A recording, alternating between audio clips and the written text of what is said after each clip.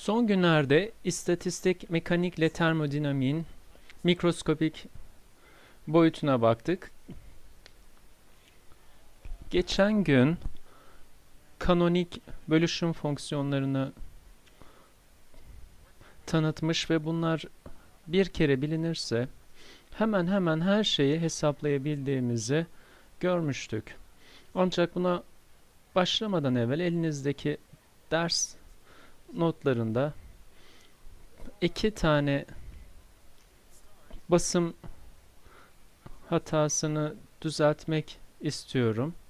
Bunlar nihai sonuca pek etki etmiyorlar çünkü birbirini götürüyorlar. Bunlar webde de düzeltildi. Sayfanın sonunda çünkü bunları bugün çok kullanacağız. Sayfanın altında a eşittir u eksi ts eşittir u burası artı olacak. dA bölü dt hacim ve n değeri sabitken bunun devamında nokta nokta nokta eşittir eksi u bölü t kare bu da eksi olmalı. 1 bölü t parantez içinde dA bölü dt yine hacim ve n değeri sabit ve n sabitken bu işaretler sonuca pek etki etmiyor çünkü bu terimler birbirini götürüyor. Pekala.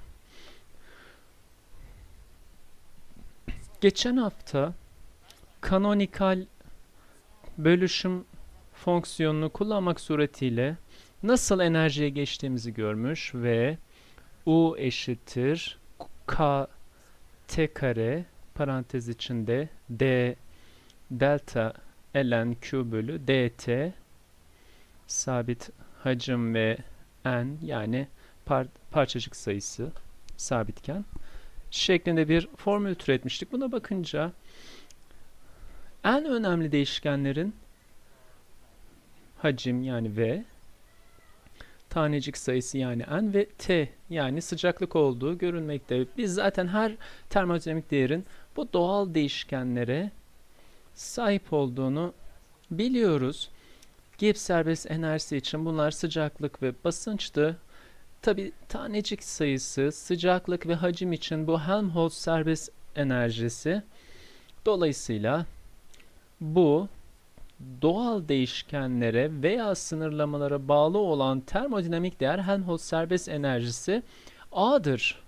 Yani A'dır. Dolayısıyla Helmholtz serbest enerjisinin kanonik bölüşüm fonksiyonları cinsinden yazılması büyük önem kazanır. Çünkü onun da aynı set doğal değişkenleri var. Geçen hafta yaptığım iş buydu. Bu haftada buna devam edeceğiz. Basım hataları da buradaydı. Şimdi de Helmholtz serbest enerjisinin U enerjisi cinsinden olan değeri hakkında neler bildiğimize bakalım. Yukarıda yazdığım gibi A eşittir U eksi TS bu Helmholtz serbest enerjisinin tanımı ve ayrıca dA eşittir eksi PdV eksi SDT artı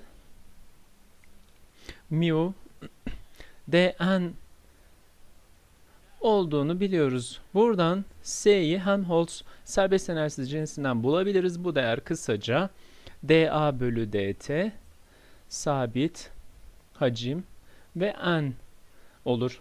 Bunu bu esas denklemde yerine koyarsak eşittir u eksi t. Burada eksi işaret var. Dolayısıyla bu artı oluyor. Yapılan hatalardan biri de buydu. t çarpı dA bölü dt sabit v ve n değerinde. Pekala elimizde u ile bölüşüm fonksiyonu arasında ilişki kuran bir denklem var. Dolayısıyla a ve bölüşüm fonksiyonuna ihtiva eden bir denklem istiyoruz. Bu ifadeyi azıcık düzenlersek u eşittir a eksi dA bölü dt sabit v ve n olur. Kendimize şöyle bir soru soralım. a'nın buna benzeyen bir fonksiyonu var mı? a'nın a eksi bir şey çarpı bir türevsel ifade gibi bir fonksiyonu varsa bunun için parantez içinde d a bölü t bölü dt sabit v ve n gibi bir ifade kullanmalıyız. Bunu yaparsak 1 bölü t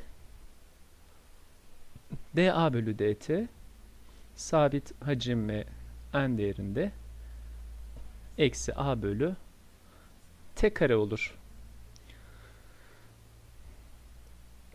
Bu sonuca bakınca a t'ye bölünüyor ve burada da t çarpı dA bölü dt sabit v ve n var. Sadece işaret farklı. Dolayısıyla bu tarafı eksi t kare ile bu tarafı da eksi t kare ile çarparsak buradaki bu ifadeyi elde ederiz. Bu da bize u eşittir eksi t kare parantez içinde d bölü dA bölü t bölü dt sabit v ve v n değerini verir. Bu ifade bu iki enerjiyi birbirine bağlar ve yukarıda da kanonik bölüşüm fonksiyonuna bağlı bir ifade vardı. Bu ifadelerden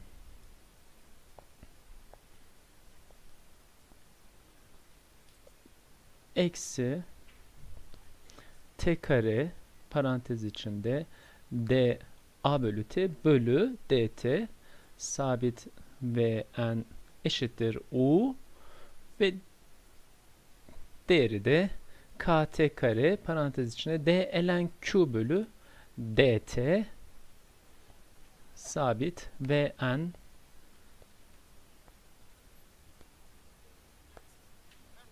değeriydi. Dolayısıyla bunu yerine koyarsak t kare değerleri birbirini götürür. Her iki tarafta da dt var. O zaman bunun integralini alalım. integralini alalım.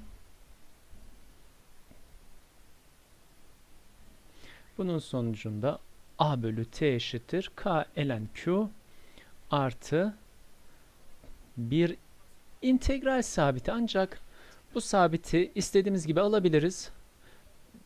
Bildiğiniz gibi enerji bir referans noktasına göre bağlı olarak alınıyordu. Dolayısıyla bunu sıfır almakta hiçbir sakınca yok. Dolayısıyla A eşittir KT ln Q.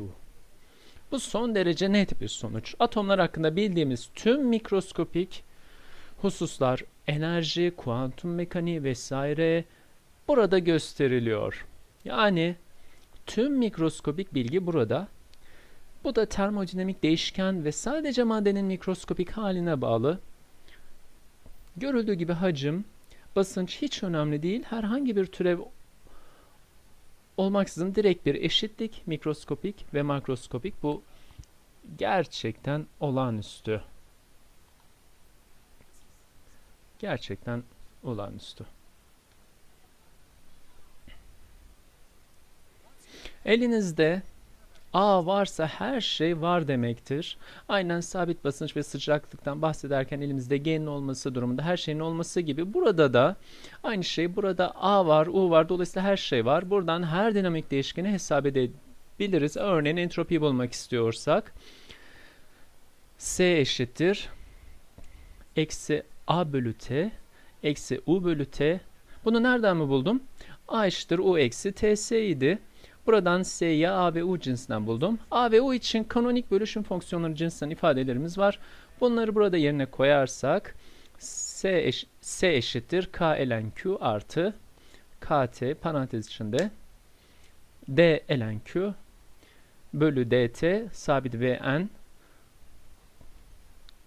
şeklinde bulunur. Burada basıncı da bulabiliriz. Basınç A'nın V'ye göre türevidir. Dolayısıyla bunun V'ye göre türevini alırsak basıncı buluruz.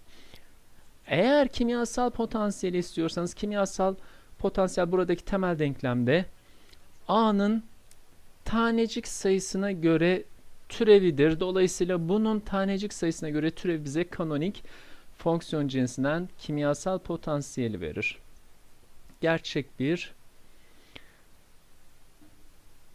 bölüşüm fonksiyonumuz varsa tabii. Her şeyimiz var. A var, U var, S var, G var, P var, H var. Hangi değişken istiyorsanız elinizde. Eğer ısı kapasitesini istiyorsanız onu da bölüşüm fonksiyonu cinsinden bulmak mümkün.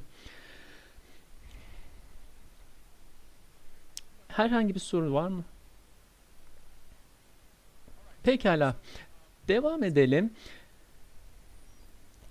Gelin entropiye bu mikroskopik teori açısından biraz daha yakından bakalım. Dolayısıyla S eşittir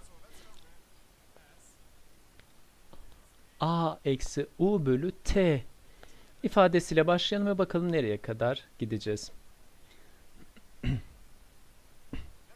Önce A ve U'yu bildiğimiz değerler cinsinden yazalım.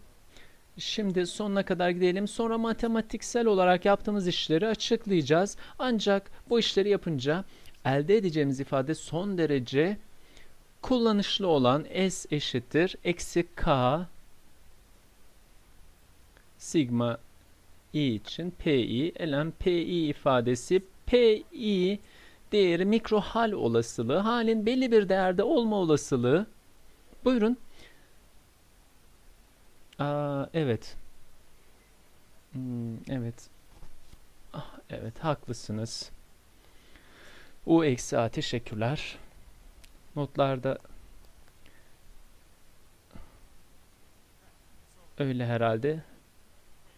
Düzeltelim. Şimdi bu mikro hallerin olasılığına göre denklemler çıkaracağız. Hatırlarsanız S'nin düzen veya düzensizlik kavramlarıyla nasıl ilişkili olduğundan bahsetmiştik. Burada da mikro hal miktarı düzensizlikle ilişkili örneğin her şeyin tam yerinde olduğu saf ve mükemmel kristallerde 0 Kelvin'deki mikro hal miktarı 1'di.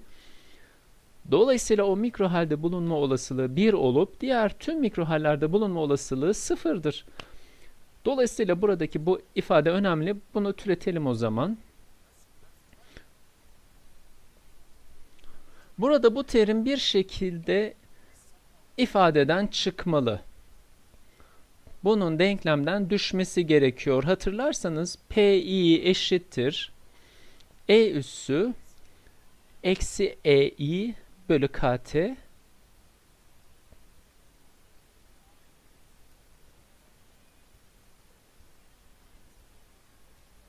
bölü Q şeklindeydi.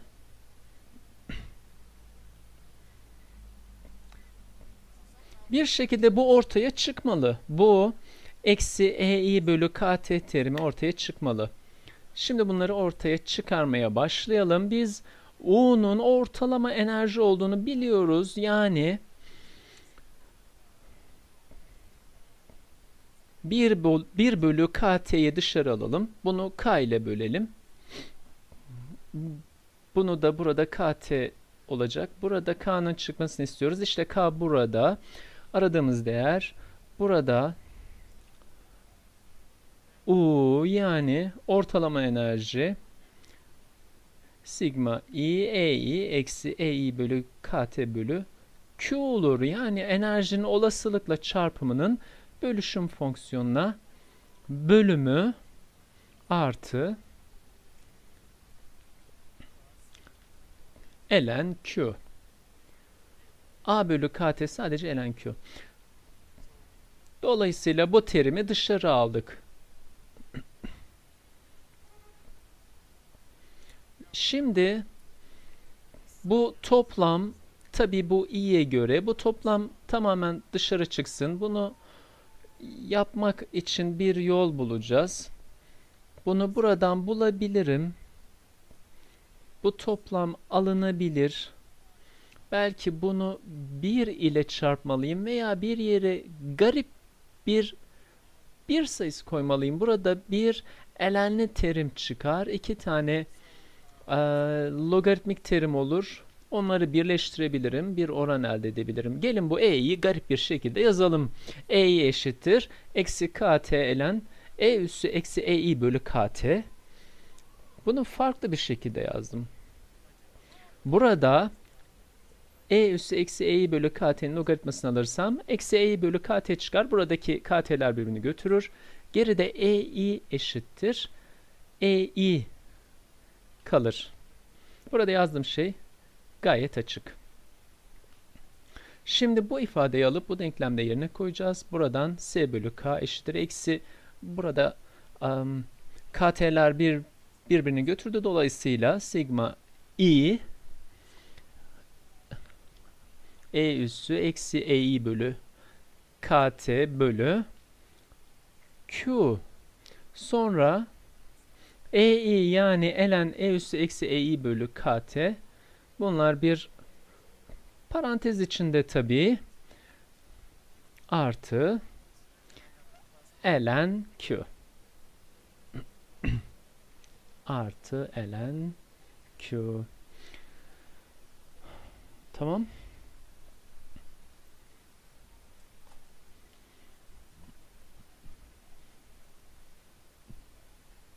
Pekala. Elimde artık çok kullanışlı bir şey var. E üssü eksi e bölü kt bölü q terimi şurada tanımladığımız pi terimine çok benziyor. Ki dışarılamaya çalıştığım terim de bu işte. Buradan pi'ler çıksın. Bunun elimizde olması çok iyi. Buradan bir pi daha gelecek ki bu harika. Bunun da toplamını alarak her şeyi birleştirebilirim. Yine alışık olmadığımız şekilde bir yazalım. 1 eşittir. Tüm olasılıkların toplamı bu zaten açık. Buradaki pi değerini buna benzer bir şekilde yazalım. Sigma i yani toplam i de diyebiliriz. E üssü eksi e bölü kt bölü q ki bu 1 tüm olasılıkların toplamı 1'e eşit. Buradaki 1'i alıp buraya koyalım. Ln Q için i'nin önemi yok. O sadece bir sayı. Bu şekilde denklemi S bölü K eşittir. Eksi sigma i parantez içinde sigma i e üssü eksi ei bölü kt bölü q çarpı parantez içinde yine ln e üssü eksi ei bölü kt parantezleri kapattık artı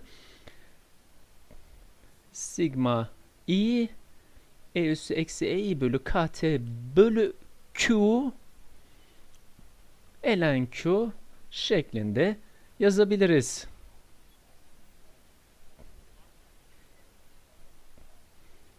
Harika. Şimdi bu toplamları alacağız. Bunlar e'lerin toplamı, e'lerin toplamı. Bu harika burada ki bu e üssü eksi e bölü kt bölü q terimi her iki tarafta da mevcut. Dolayısıyla bunu çarpan olarak alabiliriz. Sonra bu iki elen var. Bunun eleni ve şunun eleni. Bunları da bir araya toplayabiliriz. Bunun eleni alıyoruz. Dışarıda bir eksi işaret var. Bunu alırsak bunun logaritmasından şunun logaritmasının çıkarılması olur. Bu da bir bölüm olarak gelir. Buradan s bölü k eşittir. Eksi sigma e üssü eksi ei bölü kt bölü q.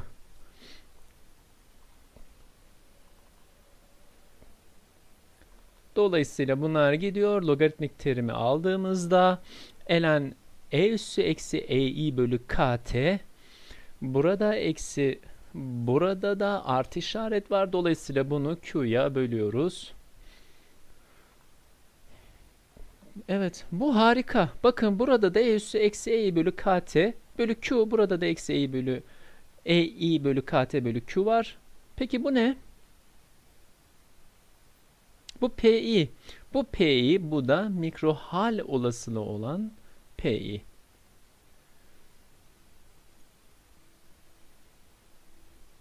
Bu da eşittir eksi sigma pi ln pi olur. Bu k'yı da göz önüne alırsak s eşittir eksi k sigma pi ln pi bulunur. Bir başka harika sonuç. Eğer sistemimiz yalıtılmışsa Yalıtılmış bir sistemde sınırlardan bir enerji giriş çıkışı yok. Bir tanecik giriş çıkışı yok. Her bir mikrohal aynı enerjiye sahip. Bu durumda değişecek olan yegane şey taneciklerin yerleri. Veya onların titreşim enerjileri. Sadece ötelenmeye bakalım. Sadece yerler değişsin. Enerjide bir değişiklik olmayacak. Yani yalıtılmış bir sistemde enerjinizin dejenereli mümkün olan yol sayısı olup taneciklerin yerleri ayırt edilemeyecek şekilde kolaylıkla değiştirilebilir. Toplam olasılık bir üzeri yapabildiğiniz değişiklik sayısı olur. Dolayısıyla yalıtılmış sistem için tüm tüm mikrohaller aynı enerjiye sahip. Buna referans noktası olarak sıfır diyebiliriz. Ve herhangi bir mikrohal için olan olasılıkta bir bölü yapabileceğiniz düzenleme sayısı olur. Dolayısıyla herhangi bir mikro halin olasılığı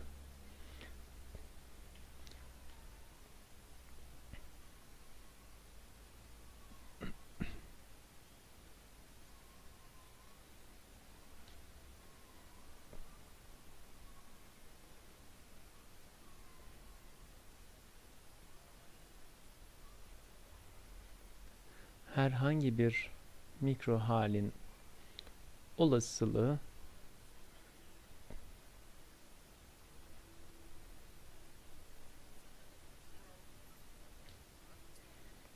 referans noktası olarak sıfır diyebiliriz demiştik. Tüm mikrohaller aynı enerjiye sahip ve herhangi bir mikrohal için olasılıkta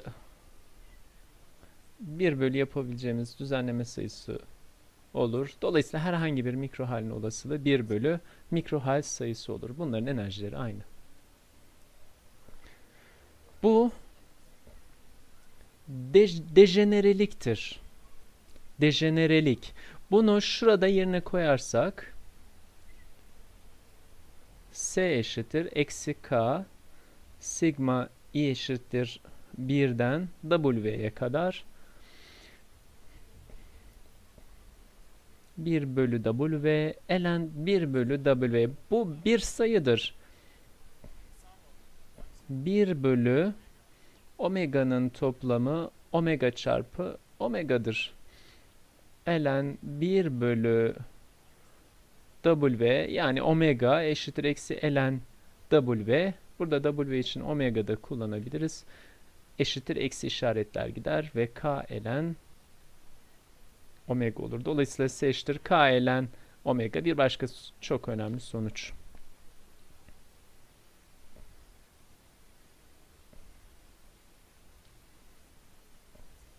Muhtemelen bunu daha önce gördünüz.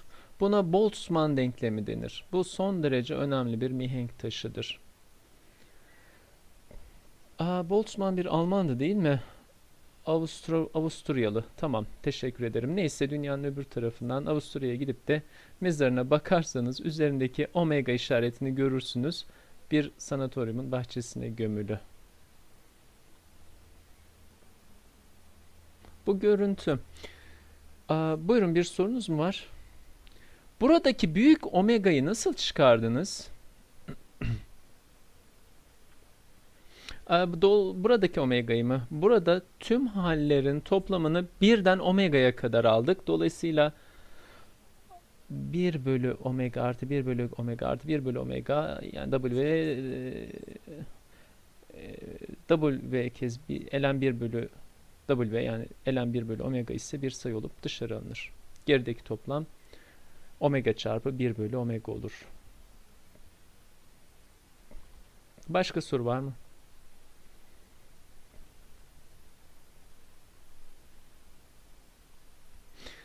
Bu yüzden entropiyi mevcut olan hallerin sayısını e, sayısını veren temel bir özellik olarak kabul edilir. İşte bu kadar basit. Bu değişkenle olan bir ilişki var ki bu değişken termodinamikten bahsettiğimizde anlaması zor bir parametre olup bu şekilde taneciklerin enerjisinin dağılımına dayanarak çok daha rahat bir biçimde anlaşılabilir.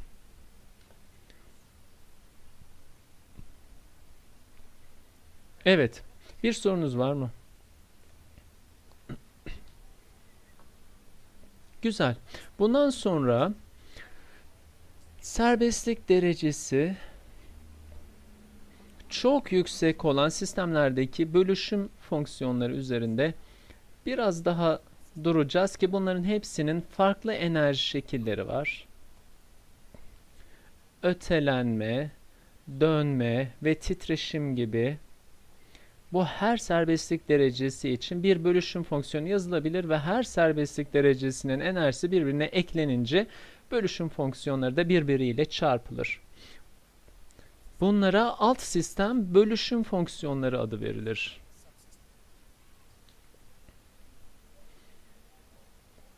Ötelenme bölüşüm fonksiyonu Q ötelenme Q ötelenmenin eninci kuvveti olup bu da moleküler bölüşüm fonksiyonunu gösterir. Tabi ayırt edilebilir tanecikleriniz varsa bunu n faktöriyele bölmemiz gerekir. Burada tabi taneciklerin yerlerini bir fark yaratmadan değiştirebiliyorsanız bu n tane tanecin birbiriyle yerlerini değiştirebilme sayısıdır. Dolayısıyla burada tanecikleri ayırt edilemez.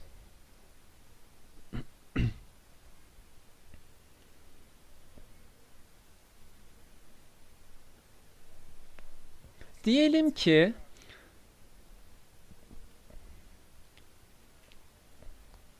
sistemin enerjisi burada buyurun Buraya nasıl gelindiği hakkında bir sorun var. Yalıtılmış sistemlerde her molekülün aynı enerjiye sahip olduğunu söylediniz. Bölüşüm fonksiyonlarını nasıl etkiliyor? Örneğin ötelenme bölüşüm fonksiyonu, dönme bölüşüm fonksiyonunu. Pek anlamadım. Önce bir notlara bakayım. Ee,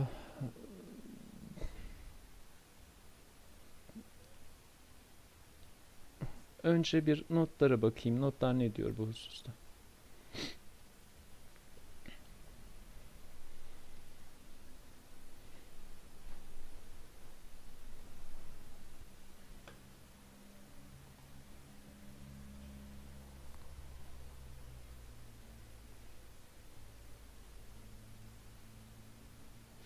O cümle buradaki şu terimle ilgili o denilen şey şu. Çok sayıda tanecik varsa ortalama bir enerji vardır ve bu ortalama enerjideki sapmalar çok küçüktür. Dolayısıyla sistem e,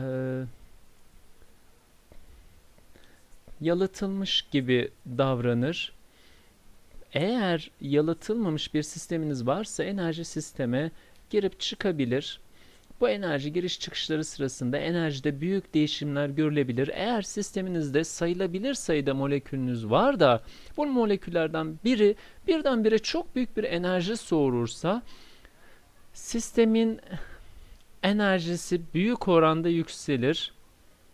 Ama elinizde 10 üzeri eksi 24 tane molekül varsa herhangi bir molekülün aniden çok fazla enerji kazanması sistemin enerjisini pek fazla etkilemez. Çok sayıdaki moleküller arasında olan bu büyük değişimler ortalama enerjiyi değiştirmez.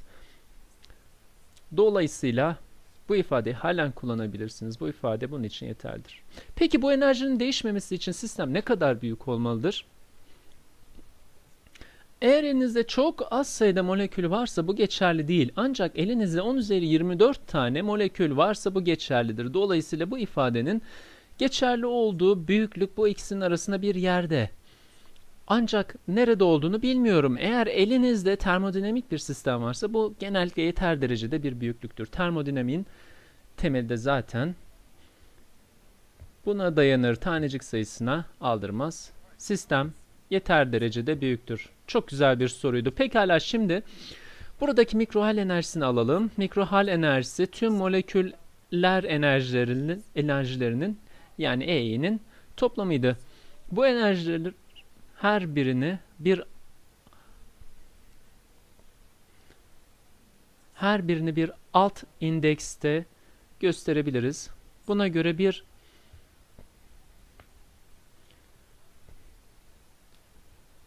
kuantum sayısına göre toplam çarpı bir başka kuantum sayısına göre toplam tüm moleküller için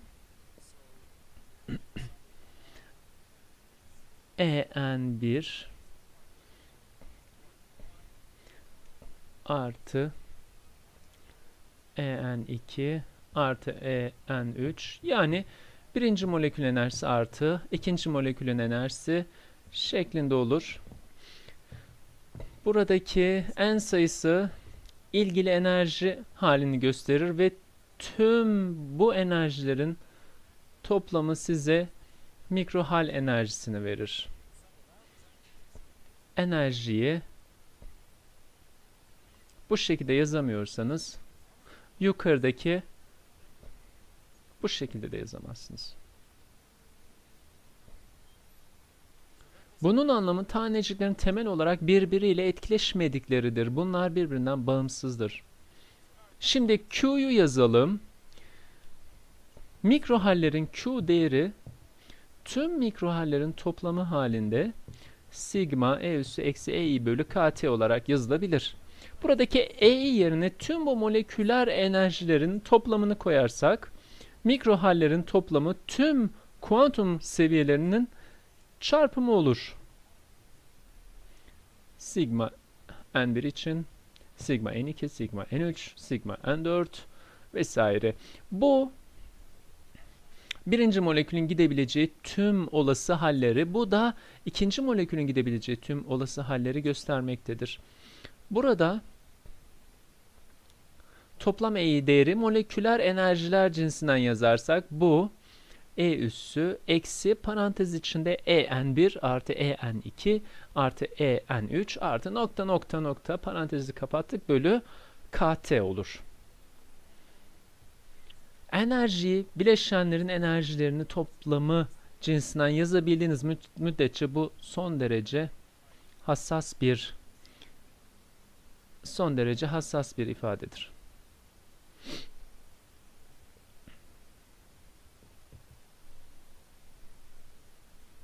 Pekala bu yazdığımız en son terim e üssü eksi en1 sadece bu toplamla ilgilidir. E üssü eksi en2 sadece bu toplam ile ilgilidir ve üçüncü molekülde sadece kendisiyle ilgili olan kuantum sayıları ile ilgilenir. Dolayısıyla bu toplamları faktöriyel cinsinden yazabiliriz. Buna göre parantez içinde sigma n1 e üssü eksi e1 bölü kt çarpı sigma n2 e üssü eksi e2 bölü kt çarpı sigma n3 e üssü eksi e3 bölü kt bulunur. Bunlardan her biri temel olarak moleküler bölüşüm fonksiyonudur. Bunlar o molekül için olan olası olası enerjilerdir. Dolayısıyla Sigma E üssü eksi E N I bölü KT toplamı molekül için olan bölüşüm fonksiyonudur. Dolayısıyla elimizde molekül 1 için Q, molekül 2 için Q var. Hepsi bunların hepsi aynı. Bunlardan n tane var. Dolayısıyla bu değer Q üssü n olur. Bu şekilde sistemin bölüşüm fonksiyonunun moleküler bölüşüm fonksiyonunun eninci fonksiyonu olduğunda ispat etmiş olduk. Bunu bu şekilde yazmamızın sebebi de toplam enerji yukarıda gösterildiği gibi moleküler enerjilere ayırabilmemiz. Burada moleküller birbiriyle etkileşmemektedir. Yani birbirinden bağımsızdır. Tabi öteleme, ötelenme pozisyonlarının çifte sayımı önlemek için bu ifade en faktöriyeli bölünmelidir. Çünkü burada tanecikler ayırt edilemez.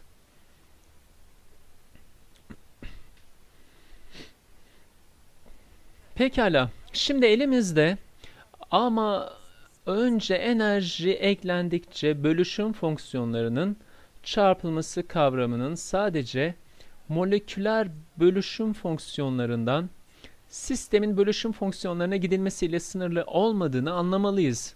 Burada moleküler bölüşüm fonksiyonlarını da alabiliriz. Her neyse toplam moleküler enerji seviyesi farklı serbestlik derecelerinin enerjisi cinsinden de yazılabilir. Örneğin moleküler enerji seviyesi ötelenme enerjisi artı dönme enerjisi artı titreşim enerjisi artı manyetik alan enerjisi artı elektrik alan enerjisi artı ekleyeceğimiz çok daha fazla enerji çeşidi var. Cinsinden yazılabilir. Dolayısıyla buradaki moleküler bölüşüm fonksiyonları da alt bölüşüm fonksiyonlarının çarpımına eşit olur. Bunu bunu biraz daha açalım bakalım. Kısaca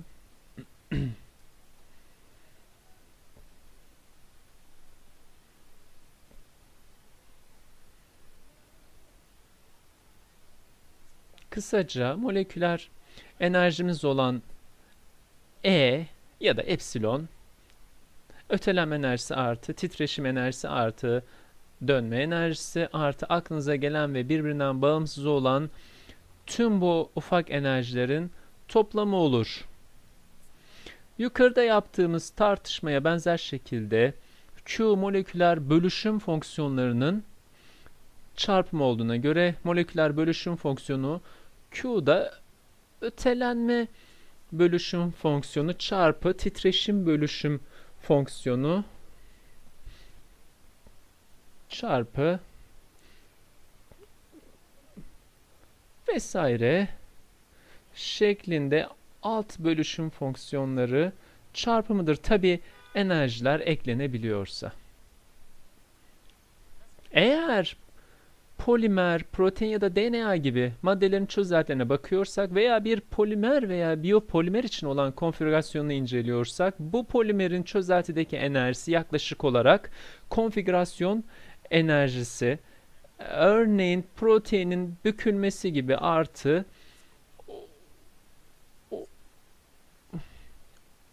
olası olan her şeyin artı olası olan her şeyin enerjisidir. Eğer konfigürasyon enerjisi bu polimerin tüm bağlarının titreşim enerjisinden ve çözelti moleküllerinin birbiriyle olan etkileş etkileşim enerjisinden ayrılabiliyorsa bu durumda genel olarak bu yaklaşımı yapmamızda bir sakınca yoktur. Bunun sonucunda bu polimer için olan bölüşüm fonksiyonu yaklaşık olarak konfigürasyon bölüşüm fonksiyonu çarpı geri kalan her şeyin bölüşüm fonksiyonudur. Ve bu ikinci kısım bir çarpan olarak dışarı alınır. Ve bunu K ile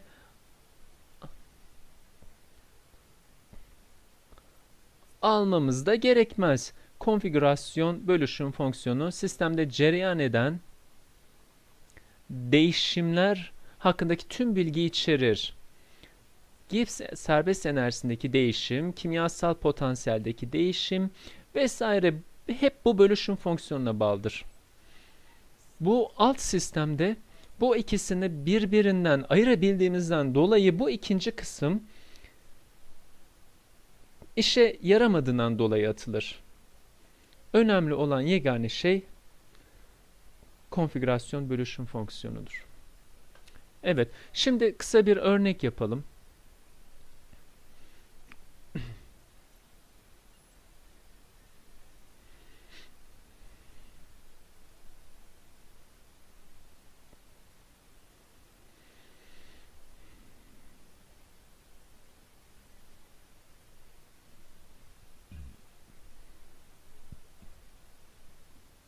Elimizde çok çok kısa bir polimer var. İki tane konfigürasyonu olsun. Üç tane monomerden oluşmuş. Bunun iki tane konfigürasyonu mümkün. Bu iki konfigürasyonun enerjisi nedir? Konfigürasyon için olan bölüşüm fonksiyonu eşittir. Sıfır enerji seviyesi için E üssü eksi E'yi bölü KT artı nokta nokta olarak veriliyordu. Bu da E üssü eksi EI bölü KT artı E üssü eksi E2 bölü KT artı vesaire vesaire şeklindeydi. Bunların hepsinin enerjisi aynıydı. Burada iki tane konfigürasyon olduğuna göre dejenerelik 2. Dolayısıyla bu ifadeyi konfigürasyon derecesi çarpı konfigürasyon enerjisi şeklinde yazabiliriz. Burada enerji için olan referans noktasını sıfır almamızın bir sakıncası yok. Sıfır çok kullanışlı bir sayıdır. E eksi sıfır eşittir 1 dolayısıyla konfigürasyon bölüşüm fonksiyonu direkt olarak dejener ile eşit. Bu da buradaki durum için 2 olur.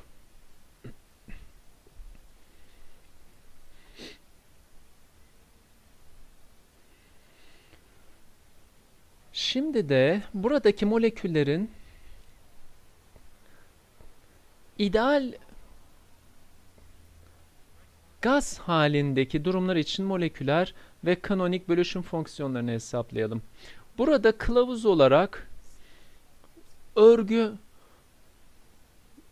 modelini kullanmak oldukça faydalıdır. Bu modelde mevcut hacim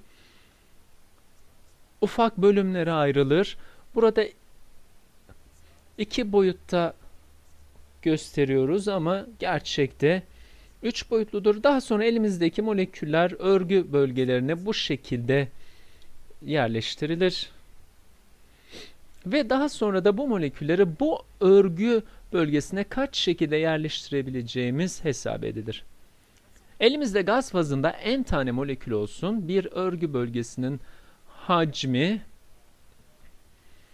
veya moleküler hacim V olsun ve n çarpı v toplam hacim olsun. Ya bir dakika affedersiniz. Burada toplam hacim bu örgü bölgelerinin hacimlerinin toplamı. Buna da büyük V diyoruz. V büyük V toplam hacim. Daha sonra burada tüm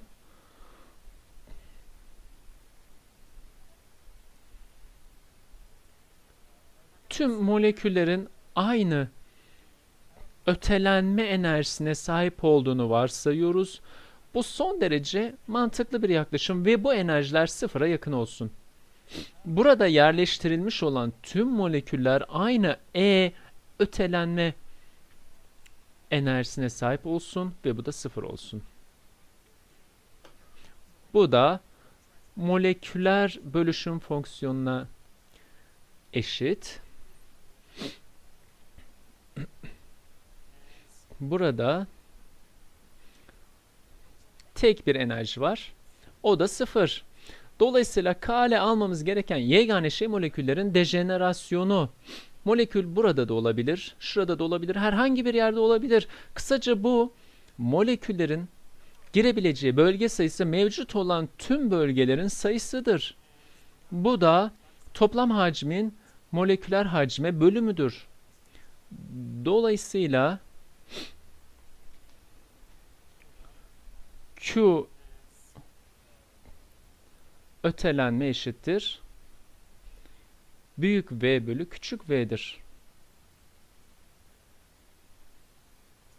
Yani toplam hacim örgü hücresi sayısı ve bu hücrelerin hacmidir. Büyük V toplam hacim. Toplam hacmin moleküler hacme bölümü de bize toplam örgü hücresi sayısını verir. Bir molekülü yerleştirebileceğimiz yer sayısı toplam örgü hücre sayısına. Bu da dejenerasyona eşittir. Şimdi de toplam moleküler bölüşüm fonksiyonuna bakarsak bu konfigürasyon bölüşüm fonksiyonu ile ötelenme bölüşüm fonksiyonunun çarpımıdır ve her örgü hücresinde molekül her iki konfigürasyonda da bulunabilir.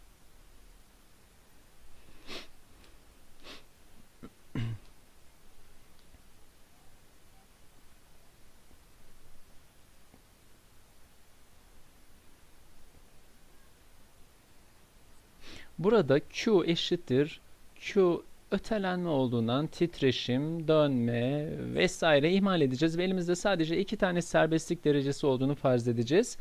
Biri ötelenme ki molekülün yeri ile ilgili biri de konfigürasyon ki molekülün yapısına bağlı. Dolayısıyla bu büyük V bölü küçük V ki bu da molekülün dejenerasyonu. Molekülü bu örgü yapısına yerleştirmedeki dejenerasyon, konfigürasyonda molekülün bükülmesinden kaynaklanan dejenerasyon.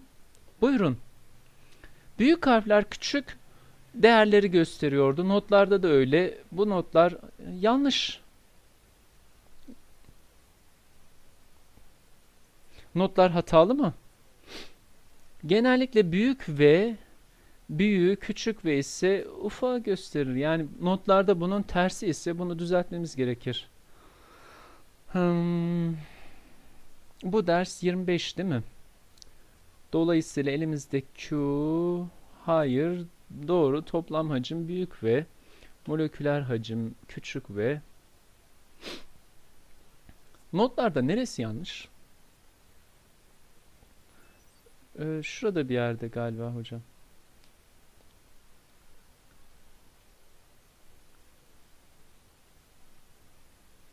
Oo, aman tanrım. Benim notlarım seninkinden farklı. Benim notlarım doğru. Dolayısıyla bir sorun yok çünkü bu en son baskı. Olur böyle vakalar. Olur böyle vakalar. Pekala. Bu sizin moleküler bölüşüm fonksiyonu sistemin bölüşüm fonksiyonu aynı şekilde ötelenme ve konfigürasyon diye ikiye ayrılabilir. Sistemin ötelenme bölüşüm fonksiyonu için yapmamız gereken şey tüm moleküler bölüşüm fonksiyonlarının tabii ki ötelenme olanları almak ve bunun eninci yani tanecik sayısı üssünü almaktır. Ancak dejenerasyon var. Fazla sayıyoruz. Dolayısıyla bunu n faktöriyele bölmeliyiz. Aynı zamanda sistemin konfigürasyon için olan bölüşüm fonksiyonu da var.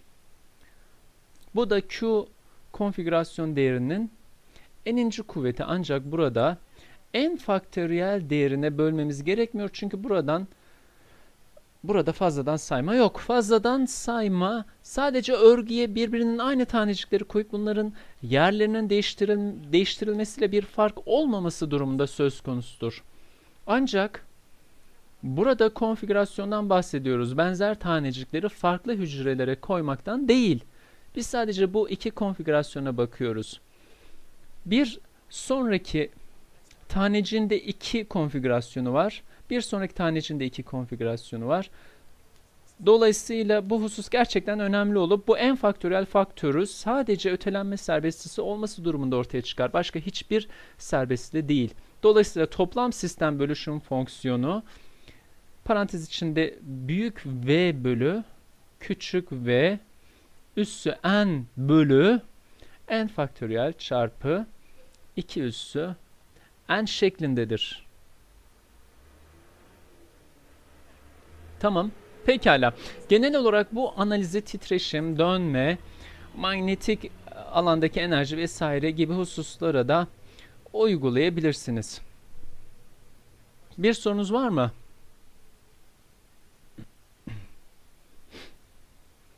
Pekala. Bundan sonraki şey artık bu öğrendiklerinizi alarak daha önce hiç yapmadığınız hesaplamaları yapmaya başlamak. Örneğin ideal bir gazın genleşmesini alırsak artık entropi değişimini hesaplayabilmelisiniz. Ancak termodinamik olarak değil, istatistik mekaniğe ve şimdi anlattığımız mikroskopik tanıma dayalı olarak. Şimdi yapılacak şey de bu. Bunu yapınca da aynı sonucu elde edeceksiniz. Aksi takdirde sıkıntı var demektir. Sadece problemi yazacağım. Çünkü yapmak için zamanımız yok. Bunu gelecek hafta çözersiniz.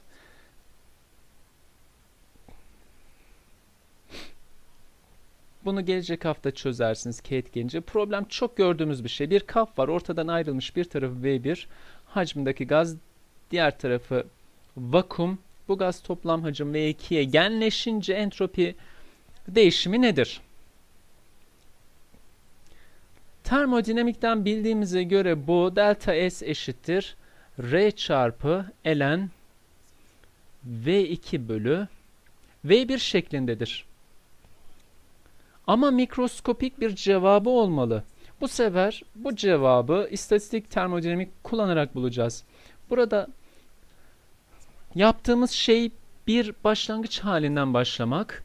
moleküler hacma küçük v toplam hacma büyük V dersek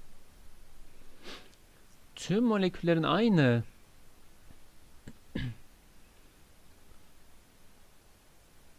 tüm moleküllerin aynı ötelenme enerjisine sahip olduğunu farz edersek ve bunu sıfıra ayarlarsak sistemin ötelenme enerjisi sıfır olur.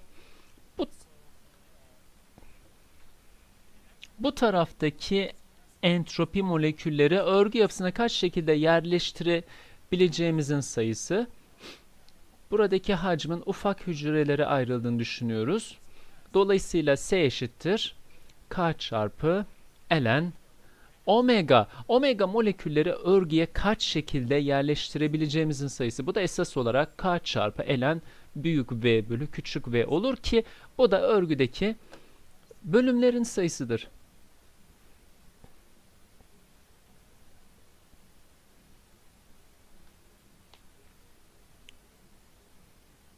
Evet. Gelecek hafta buradan başlayarak karışmadan önceki ve karışmadan sonraki değerleri hesaplayacaksınız.